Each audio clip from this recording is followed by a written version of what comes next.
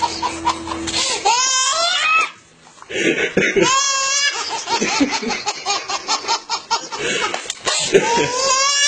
feeding Jaeger, Jaeger popcorn, and she just loves it.